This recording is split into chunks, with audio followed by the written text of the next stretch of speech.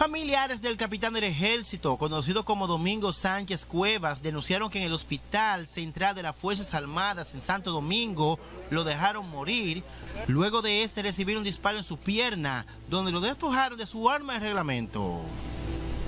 Mi hermano cuando estuvo ahí en sala de intensivo, ahí mire, ahí no hay aire.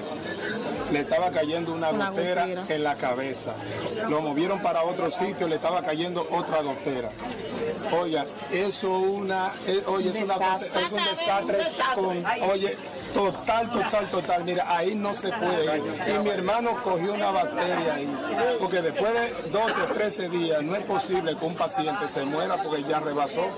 Realmente, como le dije anteriormente, mi papá es un hombre de bien. Miren cómo le cuenta gente que lo ama, que lo quiere. Vuelvo y repito, que sea primero Dios y luego la justicia con esa persona que le hicieron el daño a papi. Esto no se va a curar. Esto no se va a curar. Y nosotros vamos con el mano de Dios. Y este dolor lo vamos a superar. Que un soldado de la patria de 37 años de 37 años dejar su familia en la huerfandad, porque la delincuencia le ganó la batalla en la calle con honores militares, acompañados de sus familiares y compañeros de armas del ejército dominicano, dieron el último adiós al capitán del ejército, conocido como Domingo Sánchez Cuevas, quien era un gran ejemplo a seguir en toda la provincia de La Romana.